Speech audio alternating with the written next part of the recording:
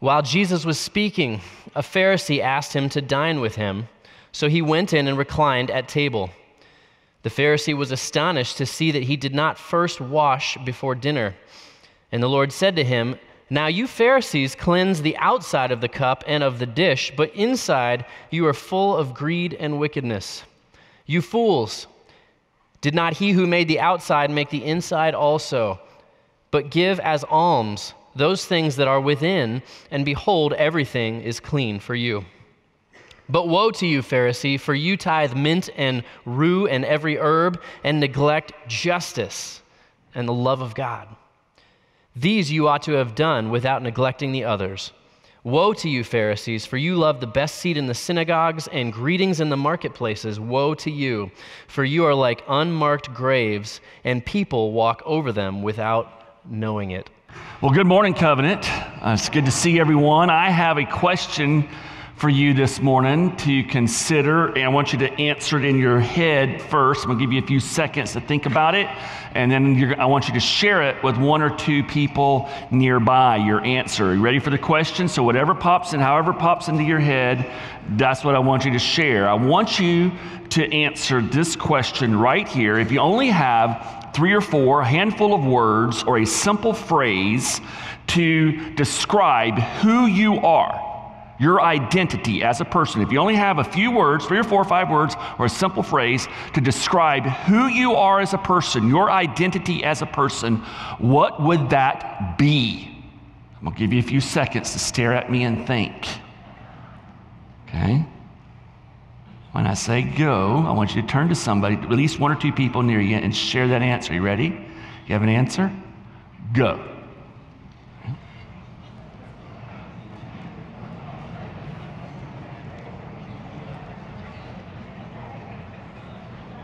It's a simple phrase, not a book, okay? All right. How many of you, your answer had something to do with your marital status? I'm a husband, I'm a wife, something like that. Raise your hand. All right. How many of you it had something to do with your parent status? I'm a parent, I'm a dad, I'm a mom, I'm a child. Raise your hand. Okay. How many of you it had something to do with your career? You know, I'm an engineer, doctor, whatever. Raise your hand. Okay, teacher. Uh, how many of you it had something to do with your spiritual state, like I'm a Christian or I'm a pagan or whatever? Raise your hand. Okay. All right, good. Uh, you know what I can guarantee? Uh, none of you turned to the other person and said, I'm a Pharisee. right? That's just not a label that we use to describe ourselves, is it? Not nowadays, but I guarantee you that if Jesus had started his message uh, 2,000 years ago with a similar question, there would have been many people in that audience who would have said Pharisee, and the rest of the audience would have approved of that answer.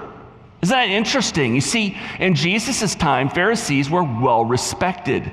They had come about maybe around roughly 150 to 200 years before Jesus as a reaction to what was happening in their society in Israel, the way their nation was under such heinous leadership and oppression, the way the people were violating the law of God and living immoral lives. And so the Pharisees arose, calling the nations to repentance, to obey the law of God, and to live lives that would bring honor to Him. That's how they came into existence. That's pretty noble. But by the time of Jesus, but they had taken obedience to the law to an extreme. And they had added to it and it had become a source of pride, of works righteousness, and a source of oppression to the very people who looked up to them. And so, in our passage this morning, Jesus runs aground of the Pharisees. It's not the first time it's ever happened, but here he confronts them face to face, and he does not pull his punches in, he, in his conversation with them.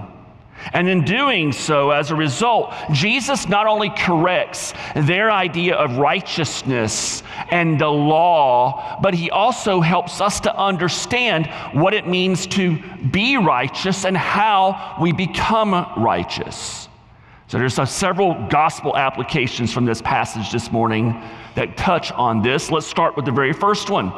Religious activity and moral behavior can mask our true spiritual state. First application religious activity and moral behavior can actually mask and hide our true spiritual state. In verse 37, he says, While Jesus was speaking, a Pharisee asked him to dine with him. So he went in and he reclined at the table. The Pharisee was astonished to see that he did not first wash before dinner. Jesus didn't wash his hands. We're not talking about here dirt under the fingernails that was upsetting the Pharisees. They had very elaborate hand washing uh, ceremonies that were to make them ritually, religiously clean. In fact, if you go to the Mishnah, there's like seven pages of fine print that talks about how to properly or improperly wash your hands so that you are now ceremonially clean before God. Uh, they believed that when they walked out in the marketplace, for example, if they bumped into a Gentile, they were now unclean. And as a result, they could not participate in the worship at the synagogue or the temple until they became clean again. Or if they touched a, a piece of merchandise in the marketplace that had been touched by someone who was unclean, they were now unclean. And so before any meal, they would go through this ritual, and sometimes even during the meal, between courses, they would repeat it, and Jesus has nothing to do with it. Is it's not that Jesus was violating the law. Far from it. The law did not require this. What, what the Pharisees had done is they had created traditions around the law and they had elevated those traditions to the level of God's word.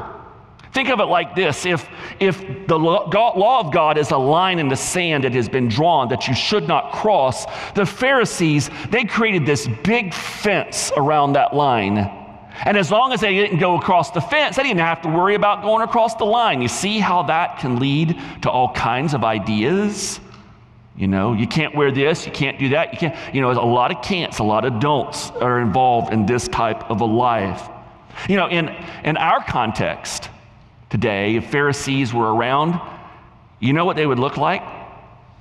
They would, they would look like fully engaged worshipers as our, pray, our, our, worship team did such a phenomenal job this morning leading us in worship, and many of you, um, us, we were raising our hands and we were singing. I guarantee the Pharisees would have been right there with us. Hands raised, exuberantly singing, saying amen. In fact, they would have already said amen to this sermon by now.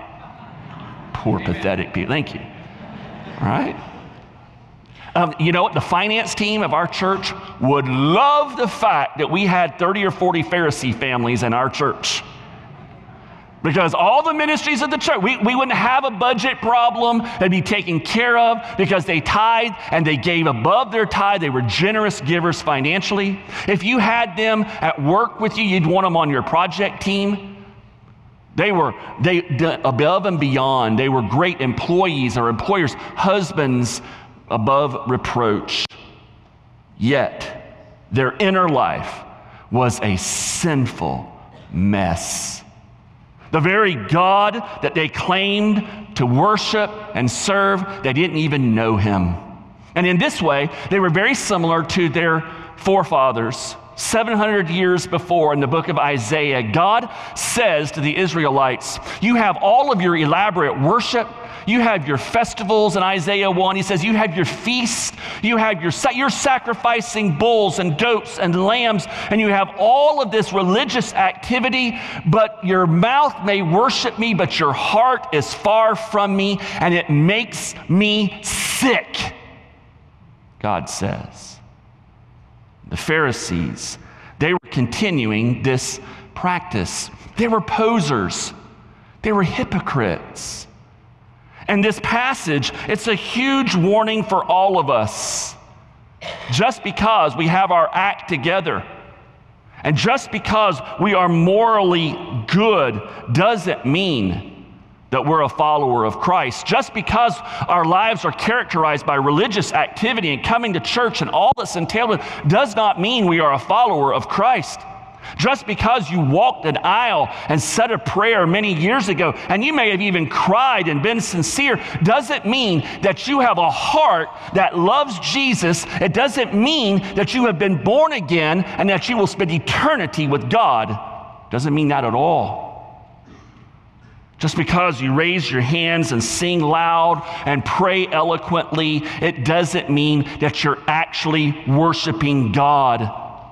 It is completely possible, and that's why this passage is so alarming. It is completely possible to have a wonderful life of religious activity and moral goodness and not know God or follow Jesus Christ. Our true spiritual state can be completely masked and hidden by our religious activity and moral behavior. Second application. God wants our external righteousness to be the fruit of an inner reality. God wants our external righteousness, our external lives, our external behavior to be the fruit of a true inner spiritual reality. And in talking about how you can have all of these things in order externally, I don't want to imply that God does not care about how we live in society and with one another externally. God does care, He's concerned with our external life and how we live in society. But when our external religious activity is not the fruit of an internal reality, ultimately, we end up doing great damage to ourselves and to other people. If you look in verse 39, he says, Now you Pharisees, you cleanse the outside of the cup and of the dish, but inside, you are full of greed and wickedness. You've taken care of all the outside, but inside, you're full of greed and wickedness, you fools. Did not he who made the outside make the inside also? Verse 42 But woe to you, Pharisees! For you tithe mint and rue and every herb. I mean, they didn't even have to tithe the rue, it was a common herb that grew in the fields. Anybody could have it, but that's how meticulous they were. For you tithe mint and rue and every herb, and you neglect justice and the love of God. Verse 43 Woe to you, Pharisees! For you love the best seat and the synagogues and your greetings in the marketplace. Church, moral obedience, a moral life, religious participation and activity that is divorced, that is divorced from the love of God, from Jesus Christ living within us and growing us from the inside out. A life that is divorced from that leads to self centered pride and spiritual arrogance and deep, deep heart sins can look good on the outside, but internally, just being corrupted by greed and all forms of wickedness, living like this, divorced from a true inner reality, does great damage to ourselves. Woe to you, Pharisees. This is an expression of judgment, of warning. Living like this actually stores up God's wrath to ourselves. If this is who we are, it hurts us but it also hurts other people. Verse 44 Woe to you, for you are like unmarked graves, and people walk over them without knowing it. What's that all about? You see, the law required that where someone was buried, there be a very clear marker because in the Old Testament law, to, to touch a dead person, to touch a dead thing, to walk across a grave, that now made you unclean in the eyes of God. You could not then participate in the Passover. You couldn't go to the temple and participate in worship until you had been clean. You couldn't go to synagogue until you had been cleaned, right? And so in Jerusalem, especially around the time of Passover and the different feasts where the whole nation would come together, people would go out and make sure that the, the markers were painted white in such a way so that everyone could see them because walking across that grave in accidentally now meant that you couldn't participate in the Day of Atonement or the Passover or whatever it was until you could become cleansed again. And so, what Jesus is saying to these Pharisees, he's saying, You are full of your religious activity and your moral goodness, but in reality, you are a walking, talking source of corruption and uncleanness that affects everyone that you come into contact with.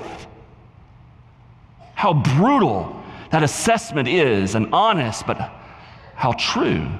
Woe to you, Pharisees.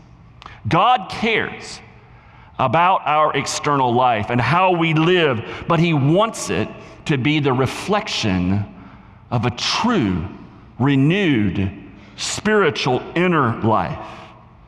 How does that happen? He says to these Pharisees in verse 39 Inside, you are full of greed and wickedness. You fools, did not he who made the outside make the inside also? But give as alms. Alms were the, the monetary offering that, that he would give to those in need or at their worship service. But give as alms those things that are within. Within what? You, that greed, that wickedness. Give those things as an alm to God, and behold, everything is now clean to you.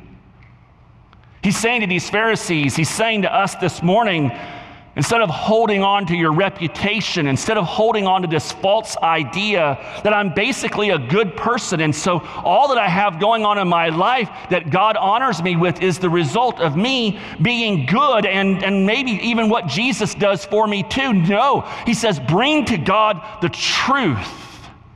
The truth of ourselves is that we come into this life completely dead in our trespasses and sins. Romans 3, chapter, uh, chapter 3, verse 10 says, There is no one of us who have been born who are good and righteous before God. And even goes on further and says, It is impossible in verses 11 and 12 for you to even seek after God or to do one thing that is spiritually good and pleasing to God.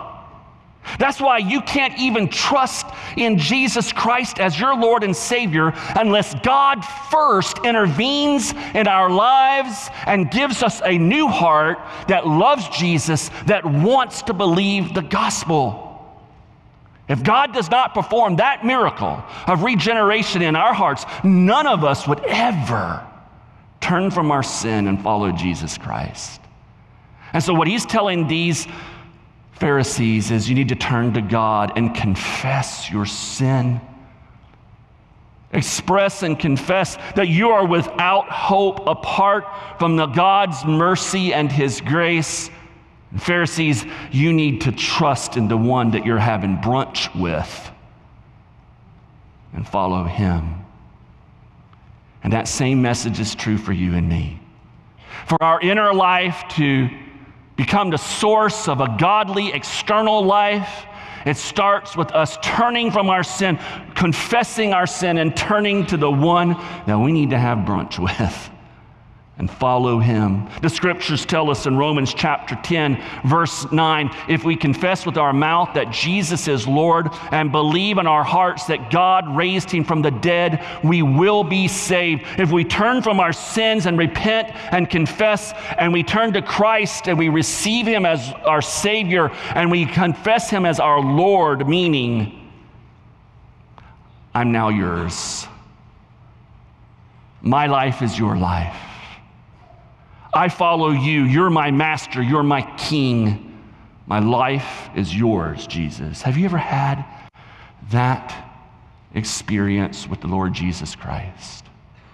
Have you turned from your sins? If you're here this morning and you're seeking answers to what's going on in your life, it all starts right there. Whether you were a Pharisee or the worst sinner in the state of uh, the nation of Israel at that time and today, the answer is the same. It starts right there confessing sin and turning to Christ as Lord and Savior. For with the heart one believes and is justified, and with the mouth one confesses and is saved. In this passage, right, we've seen a couple of important things. We've seen, right, that our external life can mask our true spiritual state. And we've seen that God does care about our external life. He wants it to be the fruit, He wants it to be the outgrowth of a new inner spiritual dynamic that seeks to bring glory to Him. So if you've been changed, if you've experienced that saving grace from our Heavenly Father, what does it look like on the outside to reflect what is on the inside? For this, we have to go back to verse 42. Verse 42 is the central key verse in this passage. And what's interesting is as you look at the last third of that verse, you actually see Jesus practically rephrasing and giving a different perspective on the great commandment. You know what the great commandment is, right? This is where the, the Israelites asked Jesus, What are, the, what are the, the, the most important commandment for us to obey in order to please God and to live a godly life? And, and Jesus says, Love the Lord your God with the entirety of your being, and love your neighbor, love your fellow man as yourself. And you see this in verse 42, but he phrases it differently. Woe to you, Pharisees, for you tithe mint and rue and every herb, and you neglect justice and the law of the love of God. These you ought to have done without neglecting the other. You see, a heart, and this is, this is the truth of what this passage is getting at the heart that has been changed by God expresses itself through a righteous life that obeys Him, not out of obligation and duty, but obeys Him out of love and seeks justice for others in need. What does that look like? Externally, what is our life supposed to look like? If we have followed and committed our life to Christ and He's at work in our hearts, it's a life, it's a righteous life that obeys Him out of love and seeks justice for those in need. Let's dig in to those last two qualifying phrases in that sentence, right? Obeys him out of love. In verse 42, he says, These you ought to have done. He commends the Pharisees for something, for obeying what the Bible said about giving. And he could have given any number of examples, but in this case, he used tithing because they even went further than what the Bible required in their giving. You see, church, God has expressed his will. He's expressed how he wants to be worshiped in the scriptures. He's expressed how we're to serve him in the scriptures. He's expressed to us in the scriptures what it looks like to obey him so, obeying the scriptures out of love, not out of a sense of pride or arrogance or self will and self power, but obeying God out of love and gratitude for what God has done in our lives, His grace that He has poured into our lives through Jesus Christ, obeying Him from that position and perspective, that is a key indicator of an internal heart change. In, in other words, why do you do what you do? Why are you here this morning singing? Why, in a few moments, are you going to give in the offering? Why, why do you participate in a small group? Why do you help your neighbor who's in need? Why do you volunteer in the nursery? Why do you get involved with Covenant Cove? Why do you come out here on Saturday mornings with Roar Sports? Your heart's condition how you answer that why question reveals your heart. It's important. Are we doing these things out of love and gratitude for God's grace? A righteous life obeys Him out of love. A righteous life seeks justice for others in need. Now, in verse 42, Jesus says it more negatively. He indicts the Pharisees. He says, You neglect justice and the law of God. You remember that accusation in Isaiah 1 that I referred to a couple minutes ago, where, where God said, I am sickened by all of your worship and all of these things that you do to impress me. Well, if you read on in chapter 1 of Isaiah, in verse 16, this is how he continues Wash yourselves Make yourselves clean. Remove the evil of your deeds from before my eyes. Cease to do evil. Now, church, read it aloud with me, verse 17. Ready? Learn to do good. Seek justice. Correct oppression. Bring justice to the fatherless. Plead the widow's cause. you, you see how this lines up with verse 42, the symmetry that is here, and the Pharisees, they loved the law. And they had all of this religious activity going on, yet Jesus says they were actually repudiating and denying the very God they claimed to worship and serve because they neglected justice and the love of God. Why is that the case? Why is this the, the indictment? You remember a couple minutes ago, we, we did a little exercise. You identified yourself, right? Hopefully, nobody identified themselves as a Patriots fan, right? Um, to this day today. Right? But you identified yourself with a few words. I know some of you did. You need to get right with God. Um,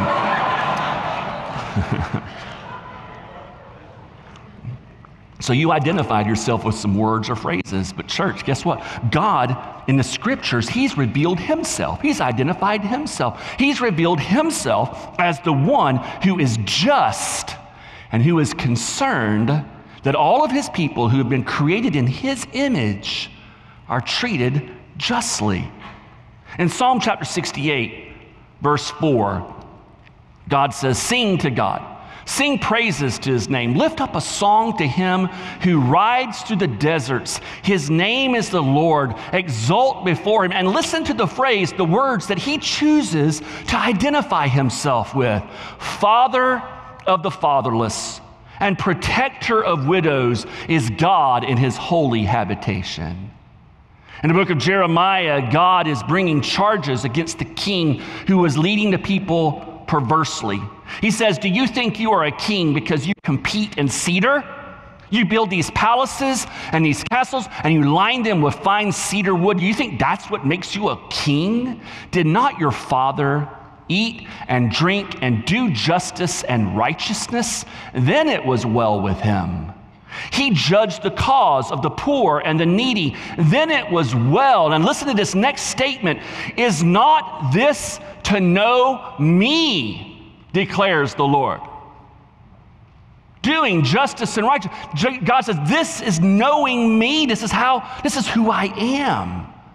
In Micah chapter 6, a, a verse many of you are familiar with, He has told you, O man, what is good. And what does the Lord require of you but to do justice and to love kindness and to walk humbly with your God? The theme of justice and doing justice is all throughout the Bible. But you know, I have a confession this morning. 20 years ago, when I came into a church like this one, Pinewood Church up in Orange Park, I had a very one sided understanding of doing justice and what this passage is getting at. But in that church, Catherine and I, for the, maybe for the first time in our lives, were the recipients of people who were doing justice and righteousness. And, and I was introduced to the, the, the preaching and the writings of Tim Keller, one of our pastors in our denomination, who has written books and talked extensively on this subject.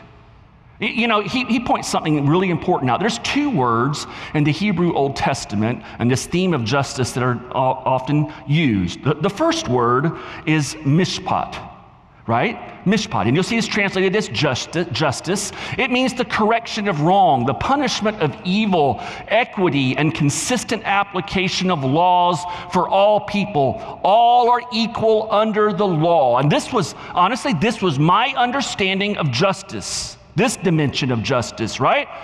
We should be a defender of those who are the victim of crime and let's find the criminals and let's punish them. Law enforcement and, and justice. And, and by the way, this is an important aspect of justice. But it's really more than just punishment and retribution. It's more than a corrective word. It also means that people receive what they're due, their rights. You know, our founding documents as a nation talk about us having inalienable rights. And what is the basis for those inalienable rights? We are all created equal before God. We all are created in the image of God. So, therefore, whether whatever our skin color, our economic or educational conditions, whatever it may be, there are certain things that we have a right to because we're created in the image of God. And Mishpat is doing justice for those who, for some reason, are not receiving their rights. Another word translated as justice, also righteousness, is tzedakah. And it means day to day living in which a person conducts all relationships in his family and society with fairness, generosity, and equity. You know, uh, mishpat, that it is kind of a corrective, rectifying justice. Keller points out that this word is preventative justice. In other words, if everyone in our society was living according to tzedakah, we would never need mishpat. Get it? Because in all of our relationships and how we interacted with people, we would treat them with fairness, generosity, and equity. These two words are so important. They appear throughout the scriptures together. We saw it in Jeremiah, right? The king that was praised. He said, Why is he praised? He said, Your father, he did justice and righteousness, and it was well with him. That's these two words. In Psalm 33, verse 5, the Lord loves righteousness and justice. These two words. The earth is full of his unfailing love. So, what does it mean for us to do justice? To live justice, to not neglect, neglect justice and the love of God. Doing justice, as we see from these words in the scriptures, means that we are in relationship with people who are at risk and we love them. We're at relation, relationship, and these, these relationships, they provoke actions on their behalf. And those actions, they include the rectifying of abuse and seeking long term solutions to their problems. These ministry partners are not interested in putting a band aid on someone's problem. What are they seeking? They're seeking to, to maybe have to put a band aid to rectify the immediate need, but partners, your ultimate goal is what? Solve the problem that is in that person's life.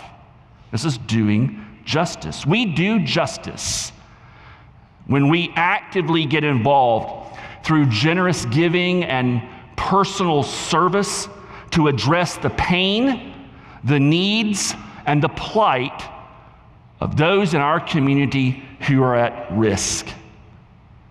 Who's at risk? It's the same people who were at risk in Jesus' time. The same people who were taught to do justice to in Jesus' time. It's the widow, the person who's all by themselves, maybe a, either a widow or a single mom who's trying to do life, or a single dad on their own. It's the orphan, the one who doesn't have parents. Maybe they have biological parents, but they're so addicted to drugs, their life is a tragedy. It's the immigrant. This is a hot topic button right now, but in Scripture, God's people love and care for those who live in their midst who are not even citizens of their country. Regardless of what's going on politically, the church loves them. It's the hungry, it's the homeless, it's the sick, it's the handicapped. Those who are, who are so disadvantaged in our society. It's the person who is enslaved to sin through addiction. It's the person who was wounded by sin because they have been abused or taken advantage of, and as a result, they can't thrive on their own. It's the person who's been on the receiving end of bigotry and racism and prejudice. And as a result, they can't get ahead or they're hurt and they can't get past those obstacles and thrive. Tim Keller says this If you are trying to live a life in accordance with the Bible, the concept and call to justice are inescapable. We do justice when we give all human beings their due as creations of God. Doing justice includes not only the righting of wrongs, but generosity and social concern, especially toward the poor and the vulnerable.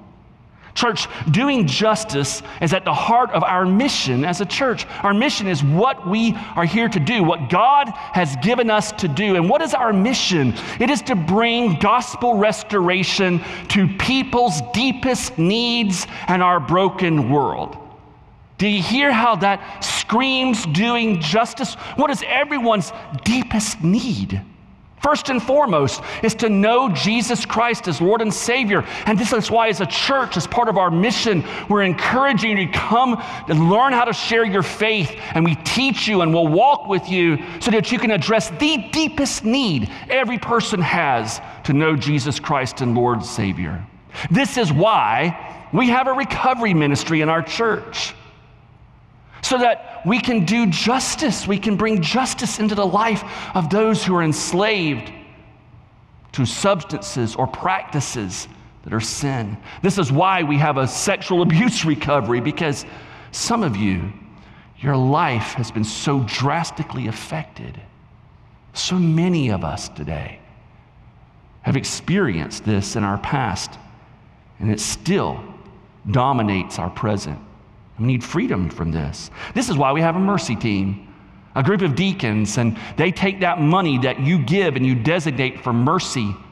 And they help couples who need counseling so their marriage doesn't fall apart. They help people who need financial assistance so that their electricity doesn't get turned off or their car gets repaired so that they can go to work. And they administer this. They're doing justice for people in our church and people in our community who need this. And, church, this is why we have these men and women here this morning. People who are on the front lines of doing justice in our city with those who are most at risk. Many of the most at risk we're insulated from in the neighborhoods that we live in, the most obviously at risk. Don't get me wrong. You can live in a fine, fine neighborhood and it's filled with people who have deep needs that only the gospel can heal. But the reason why we bring in these partners into you this morning is they're on that front line. And, and not only do we want to give them money, not only do we want to give them more money, this is why, this is why we give to our in our offering. A portion of our tithes go to support these ministries, and, and we should be giving them more. And there are more ministries that we would like to adopt. And so when we give generously, this allows us to do this. And we bring these men and women in. We want you to get to know them. And as we kick off Love Brevard, and as a church, we mobilize with 30, 40 other churches and we go into community. We want to come alongside and serve with them and get to know them and that work it is doing. Of all the people in this world who should do justice, it's those of us who've experienced the redeeming grace of our Heavenly Father. I mean, you think about it Jesus Christ he looked and he saw that there was a people at risk. You and I, our sins had separated us from eternity with God and having a relationship with God. So, what did Jesus do? He entered into a relationship with us. He came to earth and he took on human flesh and he walked among us and he faced the justice of God towards our sins and he satisfied that justice and he redeemed us and gave us new life. Of all the people who should want to do justice, it's us because we've experienced the blessing of someone doing justice for us. Let's pray. Lord Jesus, may you do this work in our lives and in our church. As we gear up into this season where we're, we're spreading out across Brevard, May for many of us, perhaps this be the first time we truly have our eyes opened to the needs that are in our very own backyard. And Lord, may it not just be a, a one time engagement that we can then go back to our comfortable lives and, and check that box. May it truly be the outgrowth, the fruit of an inner life that has been gloriously changed by the gospel, that is humbled and grateful for you, Lord Jesus, doing justice for us. Make us that kind of church, I ask. Make me that kind of pastor. In your name I pray, Jesus. Amen.